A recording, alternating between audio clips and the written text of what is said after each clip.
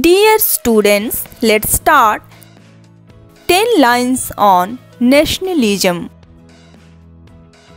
The nationalism is a sense of belonging and responsibility of the people towards their motherland.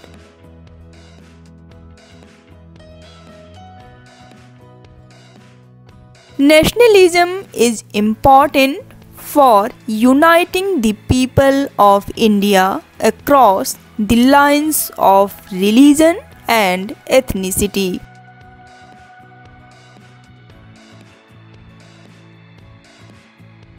The Sepoy Mutiny of 1857 or the Great Revolt of 1857 both helped in sowing the seeds of nationalism in the Indians.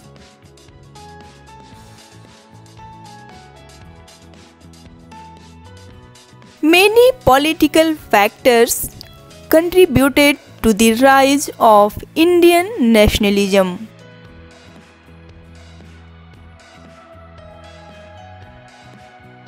Many social stigmas arising from the oppressive policies of the British Empire gave rise to a nationalist fervor among Indian masses.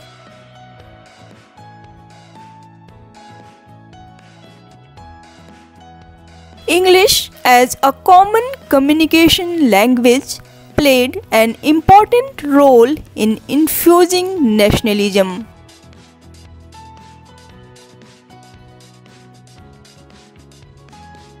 Communications, especially through the print media, took Indian nationalism to a new height.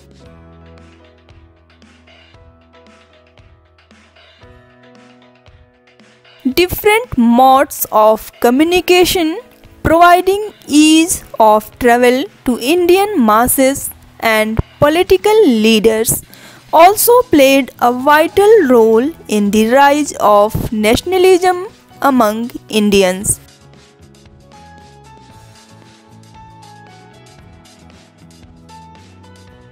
Nationalism is the most important ingredient of United India.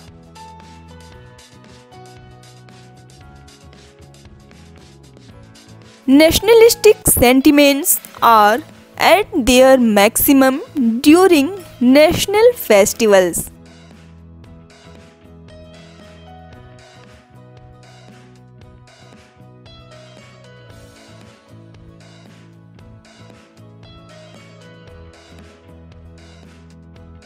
Thanks for watching. Please like, share and subscribe.